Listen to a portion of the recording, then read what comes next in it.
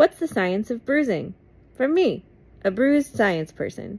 Okay, yesterday at a softball game, I got hit by a line drive that bounced off a gopher hole and into my face. Great opportunity to talk about the science of bruising. How do our bodies heal? Let's see what happens over the next 10 days. I'm gonna have the voiceover do most of this because it hurts to talk. I can't smile all the way, but I want to because science is cool. A bruise is also called a contusion. It's an area of injured skin or tissue where the capillaries have been ruptured. Bruises form when an impact, like a softball, hits the body hard enough to crush the little blood vessels under the skin, and those capillaries leak out blood that pools underneath the skin. On lighter skin tones, like mine with less melanin, the colors of a bruise shine through, like this shiner. First, it's red or pink, and then it's blue or blackish, and then green, and then yellow, then brown before it disappears. Why all of these colors and why in that order? When the softball first hits, you'll see my face there is pretty red. That blood is fresh out of the capillaries. The hemoglobin was carrying oxygen to other organs. But then once they're waylaid out of the capillaries, the hemoglobin deoxygenates. So it turns bluish black,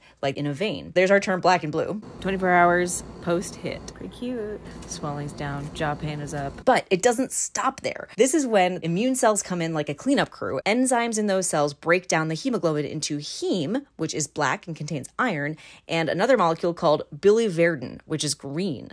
Biliverdin is a bile pigment that gives bile its greenish color. You can see some of that lovely green right here. Biliverdin breaks down into bilirubin, which is yellow.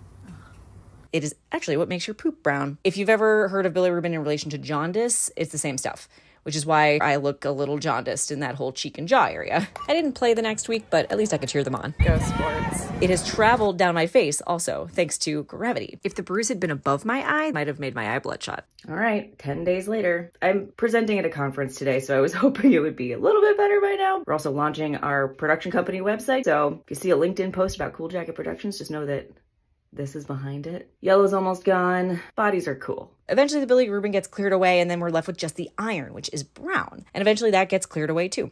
Two weeks later, that bruise was pretty close to gone, and I was physically okay enough to play the All Star game. Sophie got smashed in the face two weeks ago and had amazing black eyes. She's the official badass of the season. This timeline varies from person to person, and even from bruise to bruise, so there's no hard and fast rule for recovery, unlike a softball, which is surprisingly hard and fast. Mm-hmm. By day 21, all signs are pretty much gone. And dare I say, I came out stronger for it. Maybe a little mentally rattled, and I did have a mild concussion that kind of shows up in those first few days. But the human body is amazingly resilient, and eh, life is about getting back up to play, you know?